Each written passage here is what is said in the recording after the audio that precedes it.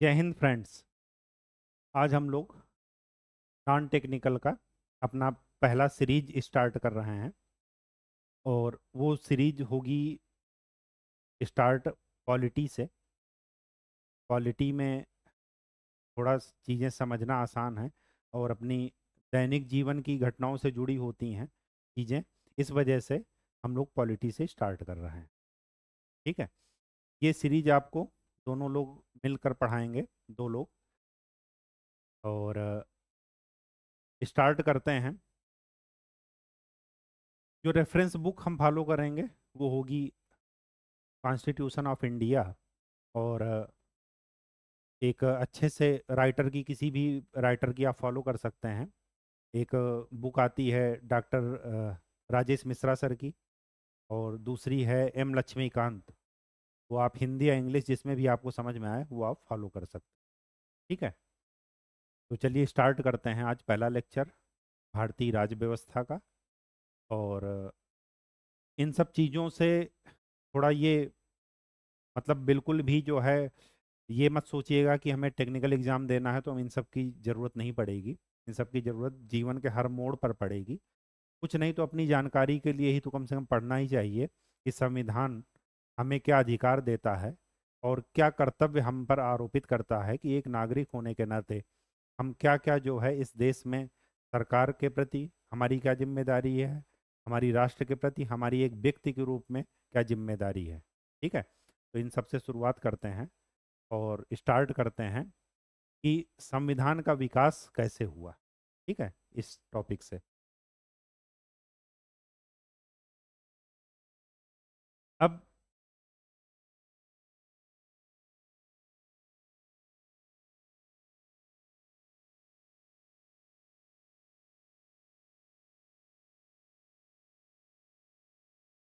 कैसे हम, जो हमने, हमारे पास आधुनिक संविधान है, कैसे हम उस तक पहुँचे? कितने लोगों ने उस पर मेहनत की और कहाँ कहाँ से हमने कौन सी चीज़ें ग्रहण की?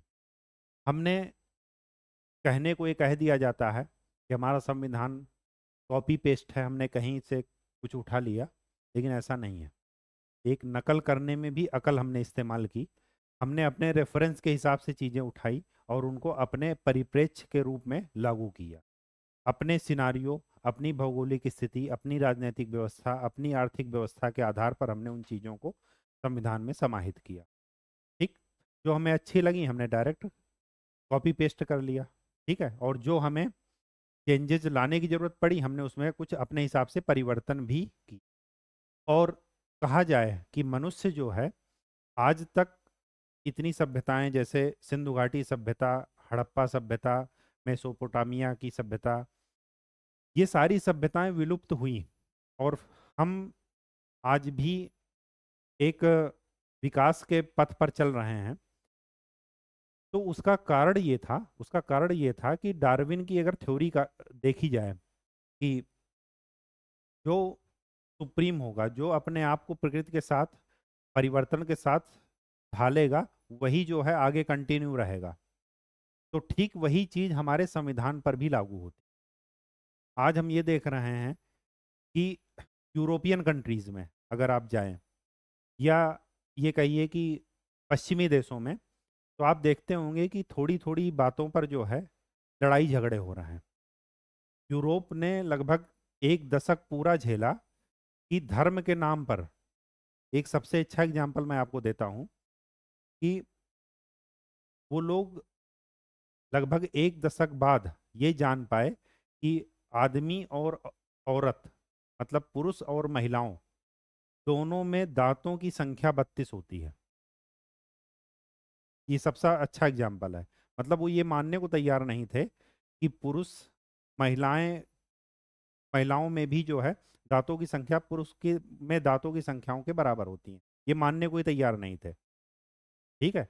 तो ऐसा रिजिड, ऐसी कठोर प्रवृत्ति हमारे संविधान में नहीं है। लचीलापन इतना भी नहीं है कि हम जब चाहें तब उसको बदल दें और कठोरता इतनी भी नहीं है कि हम बदलना चाहें तो नहीं बदल सकते। एग्ज़ाम्पल देख लीजिए अमेरिका का। अमेरिका में क्या है कि अस्त्र रखना, वेपन्स रखना एक फंडामेंटल राइट है, मूल अधिकार है। फंडामेंटल राइट वो है कि जिससे आपको जो आपको मनुष्य होने के नाते मिले हुए हैं, नागरिक होने के नाते हुए मिले हुए हैं, उनको सरकार भी आप पर बिना किसी वैधानिक प्रतिबंध के, एक रिजनेबल तार्किक प्रतिबंध के वो छीन नहीं सकती है। अब उन्होंने फंडामेंटल राइट्स में अमेरिका ने वो लिख दिया था कि वीपन्स कोई भी नागरिक अपनी आत्मरक्षा के लिए रख सकता है। अब उसके बाद उनका जो संविधान है, वो इतना कठोर है कि ये इस प्रावधान को चेंज नहीं कर पा रहे हैं। और देखिए, आए दिन वहाँ पर क्या होती है?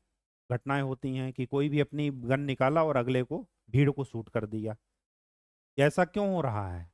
क्योंकि अब उनके पास उनका संविधान इसकी अनुमति नहीं देता है। इतना कठोर है कि वो उस प्रावधान को चेंज कर ही नहीं पा रहा है। जब उन्होंने लागू किया होगा, तब उसकी ज़रूरत थी। हमारा संविधान है। पहले 1948 में कुछ प्रावधान थे। धीरे धीरे समय के साथ हमने उनमें क्या किया? परिवर्तन किया। इसी वजह से संविधान क्या करता है? संशोधन की शक्ति देता है। अपने आप में संशोधन की शक्ति, ये एक अनूठी विशेषता है और संशोधन की शक्ति इतनी भी नॉर्मल नहीं है कि उसको कोई भी गवर्नमेंट, कोई भी सरकार जब चाहे तब चेंज कर दे, ऐसा भी नहीं है। और इतनी भी कठिन नहीं है कि उसको चेंज करना चाहे तो चेंज ना कर पाए। तो दोनों का क्या है? मिक्सचर है। लेकिन हम इस तक पहुँचे कैसे? हमने क्या किया? अगर मैं प्राचीन काल से बात करूँ, प्राचीन इतिहास से तो सिंधु घाटी सभ्यता से अगर देखा जाए तो वहाँ भी जो है किसी भी सोसाइटी के किसी भी तो उस समय राष्ट्र की अवधारणा तो थी नहीं तो शासन प्रशासन चलाने के लिए आपको कुछ नियम कायदे बनाने होंगे। और संविधान कुछ और नहीं है, वो इन्हीं नियम कायदों का ही क्या है? लिखित दस्तावेज़। ठीक? अब कोई राष्ट्र कैसे चलता है? सबसे बढ़िया एग्ज़ाम्पल? अशोक। अशोक ने क्या किया? पूरे भारतवर्ष को एक राष्ट्र के रूप में बांधा। फिर समुद्रगुप्त। फिर आगे हर्षवर्धन, चंद्रगुप्त, विक्रमादित्य। आगे तरह तरह के आक्रमणकारी, विदेशी आक्रमणकारी हूड़ यूनान ये सब आए। ठीक?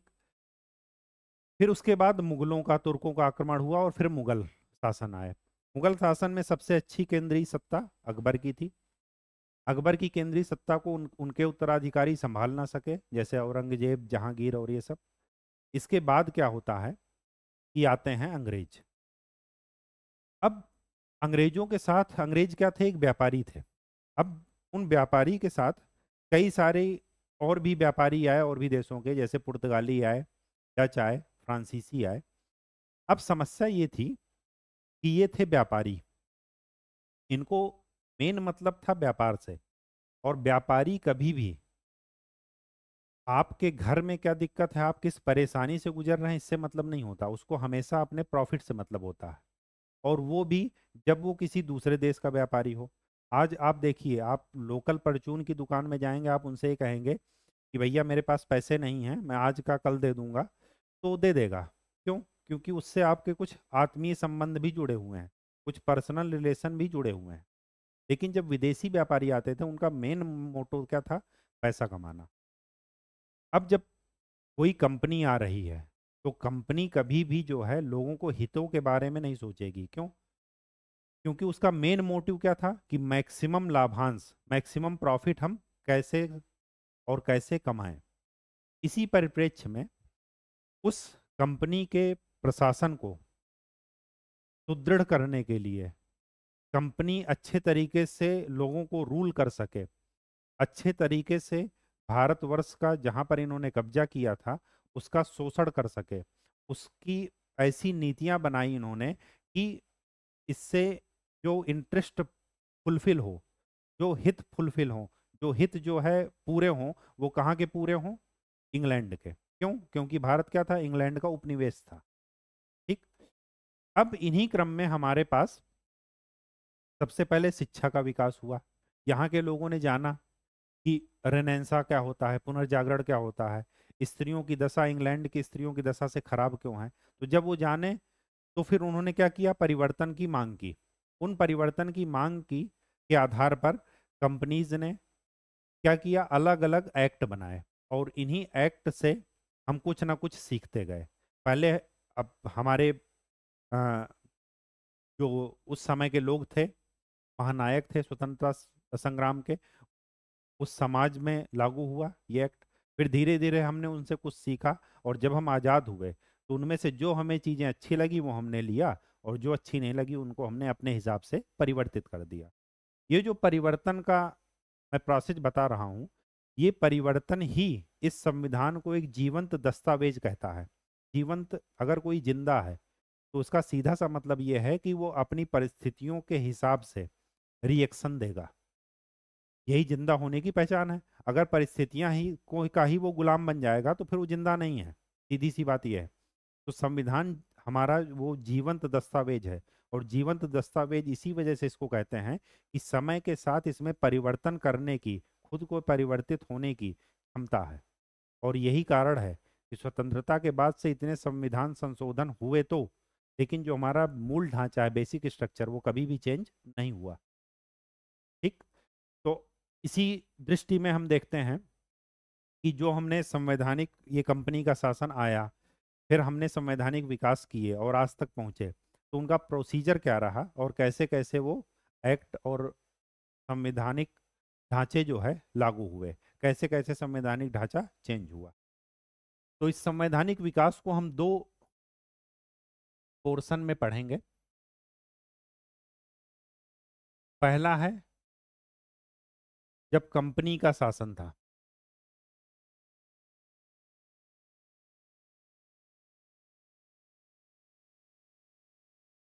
ये कब से कब तक था? सत्रह सो सत्तावन प्लासी का युद्ध। अठारह सो सत्तावन का विद्रोह। यहाँ तक था कंपनी का शासन। अब यहाँ पर पढ़ते समय आपको यह ध्यान रखना है कि जब भी कंपनी शासन करेगी, वो हमेशा उसका मेन मोटिव होगा कि ऐसी नीतियाँ बनाइए जिससे कि कंपनी का भला हो। लोगों का भले से उसको कोई मतलब नहीं था।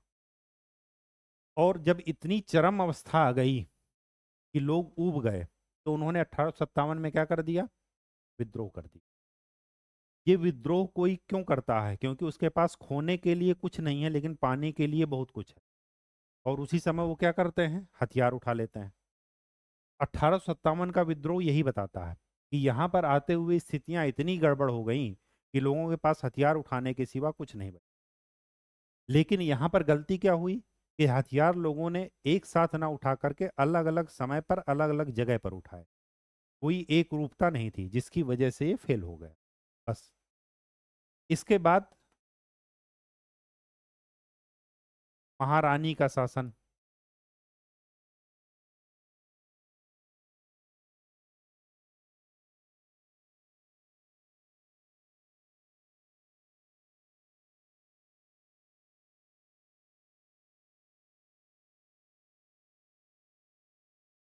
अब यहाँ पर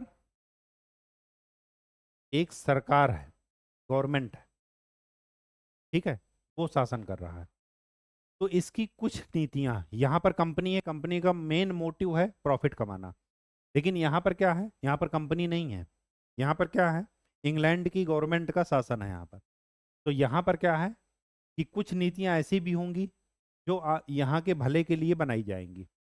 मेन उद्देश्य, उनका अंतिम उद्देश्य तो वही होगा कि भारत का मैक्सिमम शोषण करना, लेकिन, और इंग्लैंड के हितों को पूरा करना, लेकिन उसी क्रम में ये यहाँ के लोगों को भी क्या करेंगी, कुछ ना कुछ भलाई करेंगी।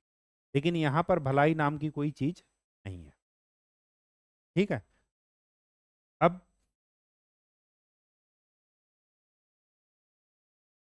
सबसे पहले हम देखते हैं कि कंपनी के शासन में कौन कौन से एक्ट आए।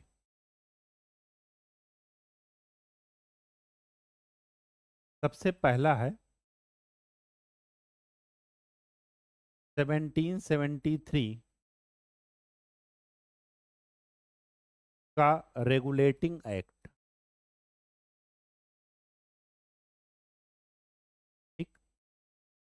अब इंटरेस्टिंग बात यह थी कि सत्रह सौ सत्तावन में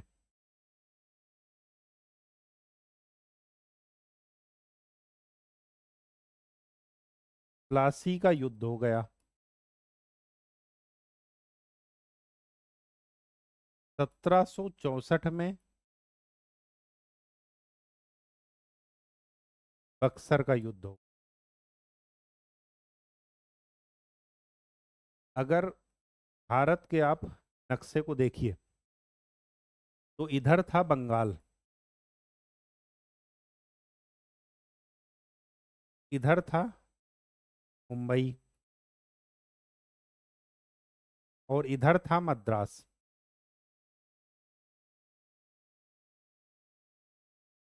ठीक। सत्रह सौ सत्तावन में प्लासी के युद्ध के बाद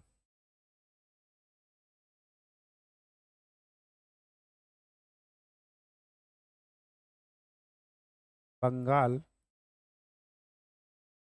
बिहार उड़ीसा। इनकी दीवानी कंपनी ने प्राप्त की। दीवानी का मतलब राजस्व वसूल करने का अधिकार। ये सत्रह नहीं, ये दरअसल सत्रह के बाद की हालत है। सत्रह सौ सत्तावन में प्लासी के युद्ध के बाद कलकत्ता का राजस्व वसूली का अधिकार कंपनी को मिल गया। अब हुआ क्या? जब इनको यहाँ के लोगों से राजस्व रेवेन्यू वसूल करना था, अब वसूल करने का अधिकार इनको मिल गया तो यहाँ के लोगों की ना तो ये भाषा समझते थे। जब ये भाषा नहीं समझ रहे, उनके सांस्कृतिक त्यौहार, परंपरा, वेशभूषा ये सब कुछ नहीं समझ रहे हैं। तो फिर क्या करेंगे? यहाँ के लोगों को ही वो क्या करेंगे? ट्रेंड करेंगे, लोअर स्टाफ के रूप में, क्लर्क के रूप में। दूसरी बात, यहाँ पर एक, इस सत्रह का जो प्लासी का युद्ध और बक्सर का युद्ध हुआ, यहीं पर एक था टर्म जिसको बोलते हैं दस्तक। दस्तक का मतलब था पास। जैसे आज हम लोग क्या करते हैं टोल टैक्स पर। अपना आई कार्ड या पास दिखाए और बता दिए कि फला मिनिस्ट्री से हैं और वो जा, जाने दिए फ्री में। तो ठीक वैसे ही जो बंगाल के नवाब थे उन्होंने कंपनी के अधिकारियों को दस्तक दिया था। और दस्तक क्या होता था कि उस पास को दिखा करके ये शो ऑफ़ करना था ये दिखाना था कि ये कंपनी का सामान है और उसको उस पर जो है टैक्स ना लगाया जाए उसको बिना स्टाम्प ड्यूटी के जाने दिया जाए। ठीक? अब कंपनी के अधिकारी इससे क्या करते थे कि स्वाभाविक सी बात है कि अगर कुछ फैसिलिटी उनको मिली तो उसका मिसयूज करेंगे ही करेंगे ये ह्यूमन नेचर है। तो वो अपने रिश्तेदारी या जिस इंडिया में भारत के जिन आ, अमीरों से उनके सेठ सेठ से उनके जो है संबंध थे उनके भी माल को वो इसी दस्तक से पास कराने लगे। अब उससे दो चीज़ें हुई। पहली चीज़ तो क्या हुआ कि जो खजाना, जो राजस्व नवाब को मिलना था मतलब स्टेट को मिलना था, वो क्या हो गया? वो पर्सनल खाते में उनके जाने लगा। जो दस्तक देता था अपना, वो उनसे व्यापारियों से कुछ पैसे ले लेता था कि हम आपका माल फ्री में निकालेंगे, आप हमें इतने पैसे दे दो। दूसरी बात, कंपनी को लगातार घाटा होने लगा। क्यों? क्योंकि जब ये यहाँ पर जाएगा नहीं रेवेन्यू उनको मिलेगा नहीं। जब रेवेन्यू नहीं मिलेगा तो कंपनी को तो घाटा हुआ, लेकिन उनके जो अधिकारी थे, वो अच्छा पैसा कमा रहे थे। जब अच्छा पैसा कमा रहे थे और कंपनी कंपनी है, स्वाभाविक सी बात है कि वो कई लोगों के शेयर से मिलकर के बनी होगी। शेयर लोग क्यों करेंगे? क्योंकि उन्हें प्रॉफिट कमाना है। अब जब कंपनी घाटे में जा रही तो लोगों को प्रॉफिट क्यों देगी? तो उसने क्या किया कि इंग्लैंड गवर्नमेंट से कर्ज मांगा। जब कर्ज मांगा तो स्वाभाविक सी बात है कि जिससे आप कर्ज मांगेंगे, वो आपकी नीतियों को, आपकी पॉलिसी को, आपकी लाइफ को कंट्रोल करना चाहेगा। आपकी तू चाहेगा, पहली बात तो पूछेगा कि आप क्या करोगे, ठीक? अब जब कंपनी ने कर्ज मांगा इंग्लैंड गवर्नमेंट से तो उसको पहला मौका मिला गवर्नमेंट को उस कंपनी पर हाथ रखने का। मतलब उसको कंट्रोल करने का। ठीक है? तो यहीं से जो सेंट्रलाइजेशन जिसे कहते हैं, केंद्रीकरण, वो शुरुआत हुई। इससे पहले कंपनी फ्री थी। ईस्ट के साथ व्यापार करने में कुछ भी वो व्यापार के साथ कुछ भी करते थे। ठीक है? खूब अच्छा पैसा कमाते थे। लेकिन जब इन्होंने इंग्लैंड गवर्नमेंट से वो मांगा कर्ज तो फिर इनको क्या मिला? उस कर्ज के बदले कर्ज तो दिया ही गवर्नमेंट ने, लेकिन गवर्नमेंट ने कहा कि पॉलिसी हम अपनी तरीके से लागू करेंगे। मतलब आप अब उस तरह स्वतंत्र नहीं हो जैसे आप पहले स्वतंत्र थे। ठीक? तो इस परिप्रेक्ष्य में सत्रह सौ तिहत्तर का रेगुलेटिंग एक्ट आया। अब इस रेगुलेटिंग एक्ट में क्या क्या चीज़ें थीं, वो हम देखते हैं। पहला पॉइंट ये था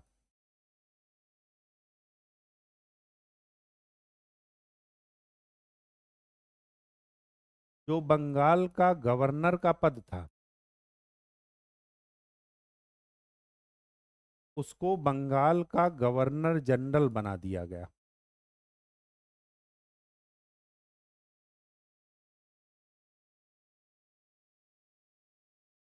और ऐसे व्यक्ति जो पहली बार बंगाल के गवर्नर जनरल बने,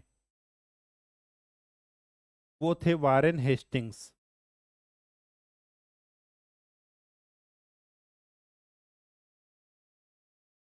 वो कौन थे? Warren Hastings.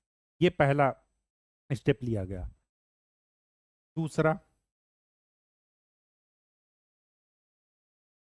ये जो मुंबई और मद्रास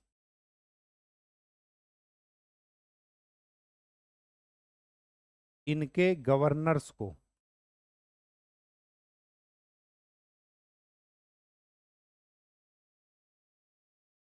बंगाल के गवर्नर जनरल के अधीन कर दिया गया।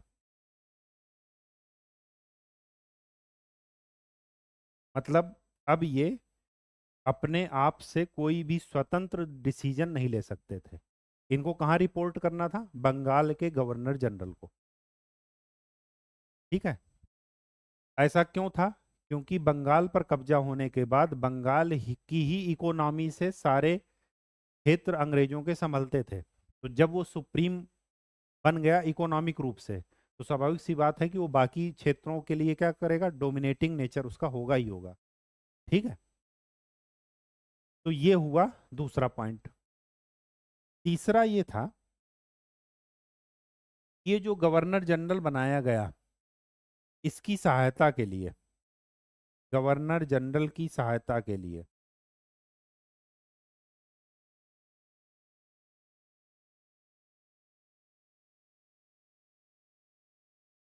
चार सदस्यीय फोर मेंबर्स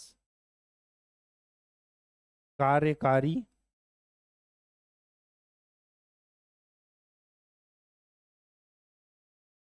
परिषद एग्जीक्यूटिव काउंसिल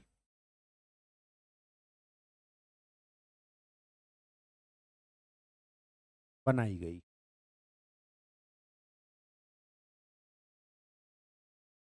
इसके लिए ताकि गवर्नर जनरल आराम से शासन कर सके।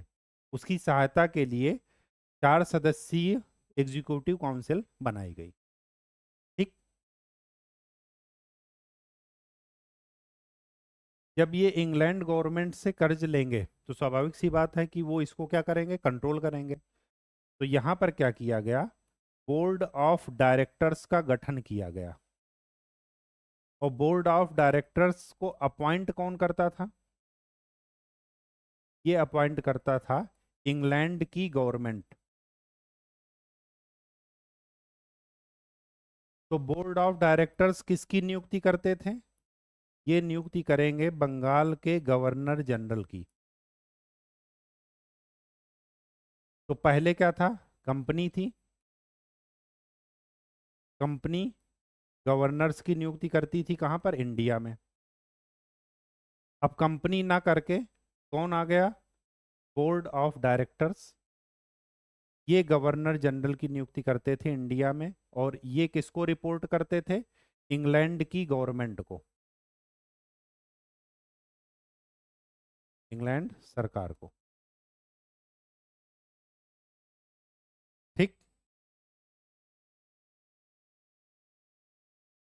अब जब इतना कुछ हुआ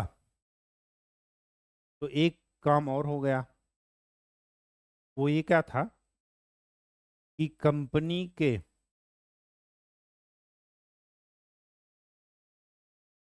अधिकारियों का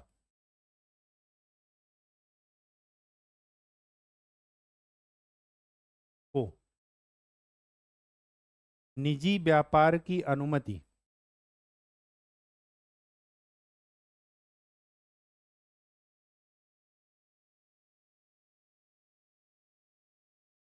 वो समाप्त कर दी गई।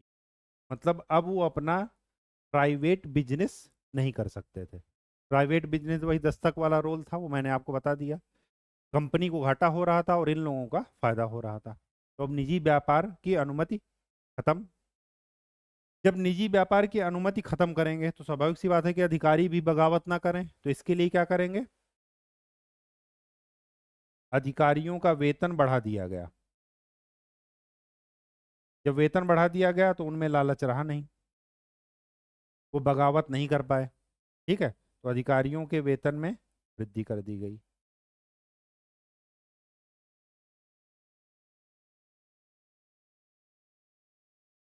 और इसके बाद एक काम और हुआ। वो काम क्या था कि कलकत्ता में जिसे आप कोलकाता कहते हैं। एक, उच्चतम न्यायालय की स्थापना। सुप्रीम कोर्ट की स्थापना की गई।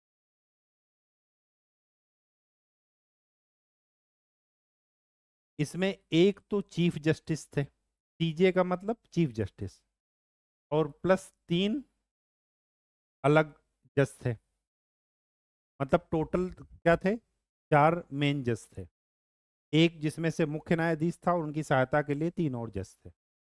जो मुख्य सहायता वो न्यायाधीश थे। इस क्वेश्चन को पूछा जाता है। उनका नाम था एलिजा एम्पे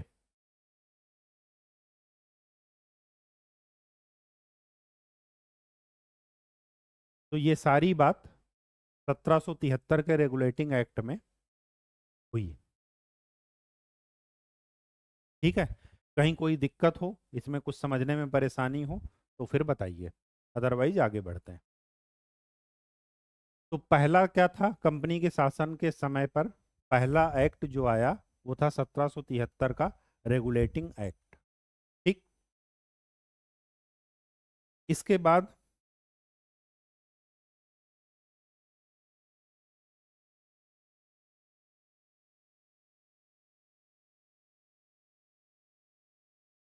इनमें संशोधन हुआ और फिर एक एक्ट आया जिसे कहते हैं सत्रह सौ चौरासी का Pitt's India Act P I T S Pitt's India. ठीक।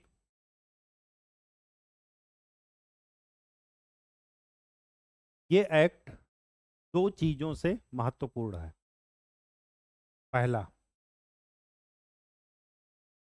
इसमें पहली बार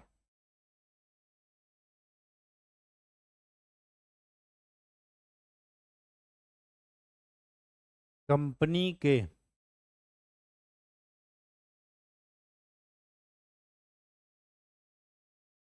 कंपनी जिस भूभाग पर शासन करती थी, उसको ब्रिटिश आधिपत्य क्षेत्र कहा गया।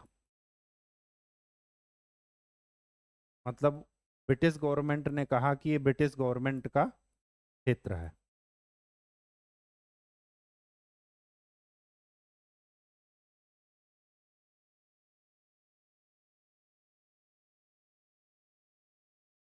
दूसरा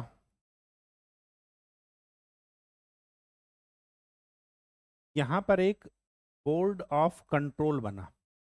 वहाँ पर क्या था? 1773 में board of directors.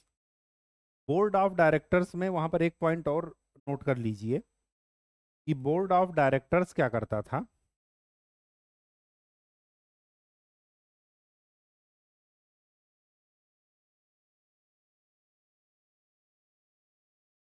अधिकारियों की नियुक्ति। अपॉइंटमेंट, उनके वेतन, सेवा शर्तें,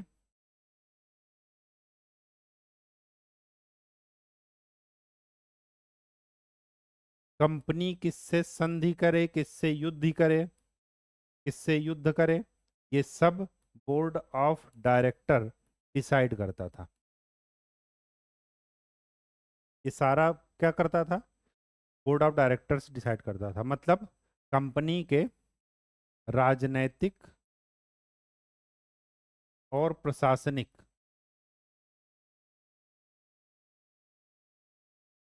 दोनों को ये क्या करता था? कंट्रोल करता था।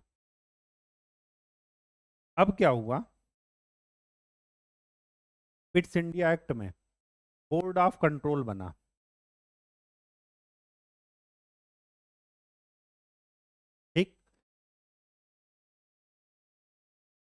इसने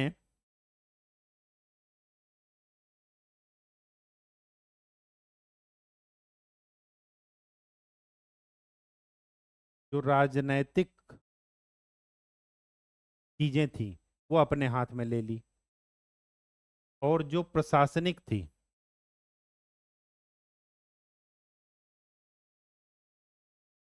वो बोर्ड ऑफ़ डायरेक्टर्स को दे दी मतलब कंपनी को। मतलब उसके राजनैतिक और प्रशासनिक विभाग को अलग अलग कर दिया गया। ठीक है?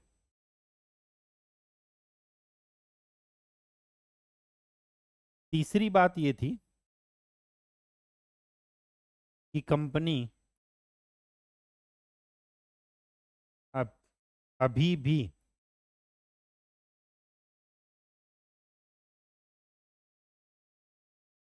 पूर्व के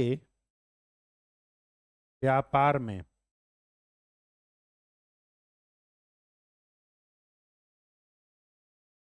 एकाधिकार बनाए रखा।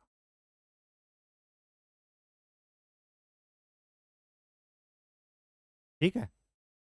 कंपनी ने क्या किया? अभी भी अपने पूर्व के व्यापार पर एकाधिकार बनाए रखा।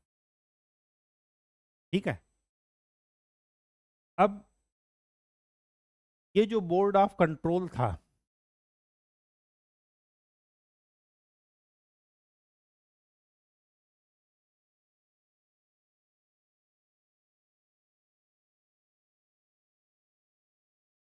इसका सदस्य ब्रिटिश कैबिनेट के मंत्री होते थे। ठीक है? और बोर्ड ऑफ़ कंट्रोल अपनी सुप्रीम अथॉरिटी बन गया। जो कंपनी को कंट्रोल करता था। तो बोर्ड ऑफ़ डायरेक्टर्स के ऊपर बोर्ड ऑफ़ कंट्रोल था। फिर बाकी गवर्नर जनरल और ये सब आते थे। और एक लास्ट पॉइंट इसी में कि और क्या हुआ? और ये हुआ कि जो हमने सत्रह सौ तिहत्तर के रेगुलेटिंग एक्ट में बताया था, क्या बताया था? कि गवर्नर जनरल और उसके लिए सहायता के लिए चार सदस्य फोर मेंबर्स एग्जीक्यूटिव काउंसिल कार्यकारी परिषद बनाई गई थी। वो जो फोर मेंबर्स थे, उनको यहाँ पर कम करके उनकी संख्या थ्री कर दी गई।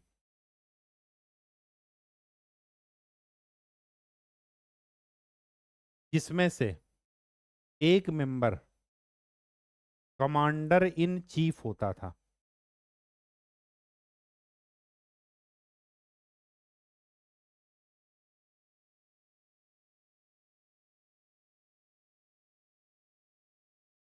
तो यहाँ पर क्या किया गया? सेंट्रलाइजेशन को क्या किया गया? बढ़ाया गया। बोर्ड ऑफ़ कंट्रोल को भी बैठा दिया गया। जिससे क्या हुआ? केंद्रीकरण की प्रवृत्ति में क्या हुई? वृद्धि हुई। ये केंद्रीकरण चलता रहेगा। कहाँ से? सत्रह सौ तिहत्तर से स्टार्ट हुआ और ये अट्ठारह तक चलता रहेगा। जब केंद्रीकरण अपनी सीमा को पार कर चुका होगा, उसी समय विद्रोह होगा और फिर इंग्लैंड का शासन भारत पर आ जाएगा। तो आज हमने दो एक्ट्स पढ़े, दो अधिनियम, एक सत्रह का, उसका बैकग्राउंड हमने समझ लिया कि किस बैकग्राउंड में वो आया था। स्वाभाविक सी बात है कि यहाँ पर बोर्ड ऑफ़ कंट्रोल फिर बना। क्यों बना? क्योंकि कंपनी फिर वापस से कर्ज लेने गई थी इंग्लैंड गवर्नमेंट से। तो इंग्लैंड गवर्नमेंट ने कहा कि अभी दस साल पहले ही तो आपको दिए थे, अब फिर से आप मांगने आ गए। तो उन्होंने कहा कि पहले आप जो है, जैसे आईएमएफ पाकिस्तान को या भारत को या किसी भी डेवलपिंग नेचर नेशन को कर्ज देता है तो अपनी शर्तों पर देता है कि आप अपनी इकोनॉमी क्या कीजिए, ओपन कीजिए। ठीक है? हमारे यहाँ की कंपनियाँ जाएँगी, विकसित देशों की कंपनियाँ जाएँगी, वो आपके यहाँ व्यापार करेंगी। अगर आपने ऐसा नहीं किया तो हम कर्ज आपको नहीं देंगे। तो सीधी सी बात यहाँ पर भी है। अगर इंग्लैंड गवर्नमेंट इस कंपनी को कर्ज दे रही है, जो कि एक खुद एक व्यापारिक कंपनी है। तो स्वाभाविक सी बात है कि उसकी बैलेंस शीट में या कहीं ना कहीं कुछ ना कुछ तो गड़बड़ है तो उसको कंट्रोल करने की ज़रूरत है। तो इसी वजह से इन्होंने बोर्ड ऑफ़ कंट्रोल बनाया। बोर्ड ऑफ़ कंट्रोल ने क्या किया? कंपनी के राजनैतिक और प्रशासनिक भाग को अलग कर दिया और व्यापारिक भाग को अलग कर दिया। ठीक है? तो आज के लिए इतना ही। अच्छे से खूब पढ़ाई कीजिए। ये सीरीज़ हम कंटिन्यू रखेंगे। ठीक है?